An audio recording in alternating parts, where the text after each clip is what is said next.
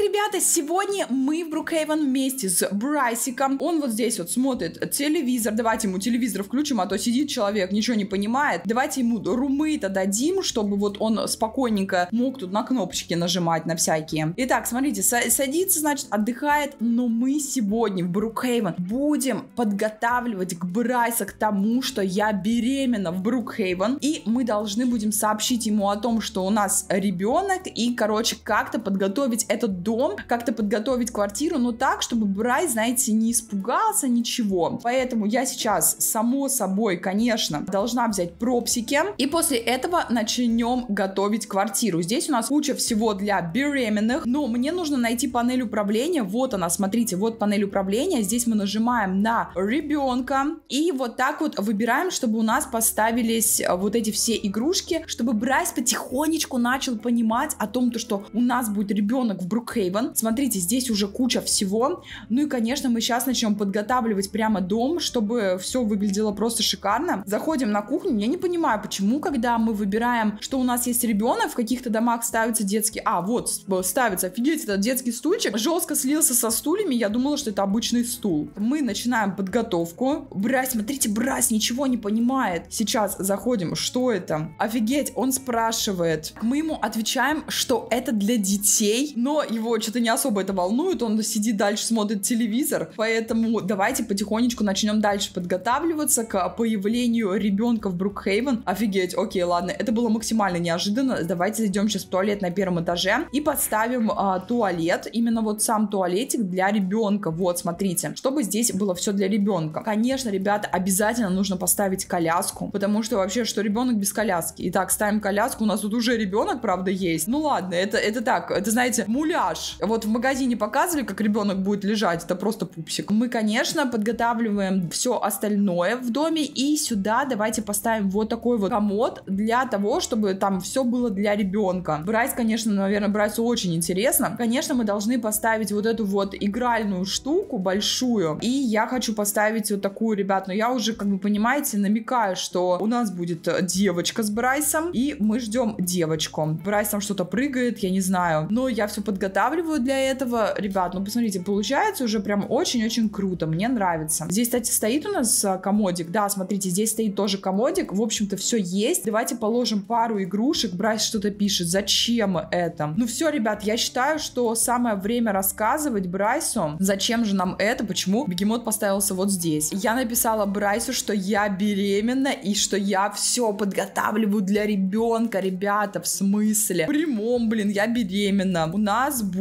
дочь. Все, ребят, ну посмотрите, мне кажется, то, что Брайс вообще сейчас просто будет в шоке, но я думаю, что он будет рад. Он, наверное, хочет ребенка, я очень на это надеюсь. Но так, что-то он не рад, или у него живот свело, я не знаю, что происходит, но вроде как все. В смысле дочь? Да блин, в прямом смысле, откуда? Я даже не знаю, ребят, что отвечать на эти глупые вопросы. Я просто не понимаю, откуда, блин, от верблюда. Я не знаю, ну что за бред вообще? Откуда, в смысле дочь? Я не знаю, ребят, ну что значит, от кого? В смысле от кого? Ребят, Брайс козел, где ты была? В смысле? Ребят, ну это просто, это ужасно. Я не понимаю, что Брайс пишет за фигню. Походу, то, что он пишет, не очень хорошо. О, ребят, все. Слушайте, Брайс, походу, там нецензурную, нецензурные слова говорит. У него без шанса высказаться. Без единого шанса. Ребят, слушайте, Брайс, походу, там реально нецензурные слова говорит. Мне кажется, даже лучше не расшифровать. В смысле, куда он пошел? Я не понимаю, куда он уходит? Где он? Куда он пошел? Он в туалет пошел? Мыться пошел? Я не знаю. Мыться пошел, ребят. Ладно, походу, все окей у него. Давайте как-то оборудуем дальше для ребенка. Он помылся. Что так быстро? Что он говорит? Что он говорит? Что он говорит? Как назовем Света? Я не хочу Светой называть ребенка. Я написала, что пока Маня. Сам ты Маня. В смысле Брайс уходит? Куда? Куда он уходит? Давайте напишем, куда. Я не понимаю, куда ты? Алло, ты куда пошел? Ты куда уходишь? Куда Брайс пошел? Офигеть, ребята, мне дочь не нужна? В смысле не нужна? Ну ты козел. Я хотел сына? Да блин, как тут вообще можно угадать, кого ты хотел? Офигеть, он уходит. Вы понимаете, Брайс ушел. Ребят, я просто в шоке. Я осталась одна беременная. Ребята, э, я реально сейчас просто в шоке. Я не знаю, что делать, но я считаю, что мы должны продолжить готовиться к тому, чтобы стать родителями. Если Брайс нас бросил, это еще не конец. Мы будем хорошими родителями, да, я буду мать-одиночка, но это ничего не значит. Поэтому мы сейчас будем ставить вот сюда молоко. То еще мы сюда поставим? Конечно, нужно дальше готовиться к тому, чтобы стать э, родителями. И, конечно, ребята, нужно записать ребенка уже сейчас в садик, чтобы, знаете, чтобы вот все было хорошо. И знаете, что мне нужно сделать? Мне нужно прямо сейчас, так как у меня мотоцикл, вы, ребят, вы понимаете, ну, ребенка на мотоцикле просто нереально возить,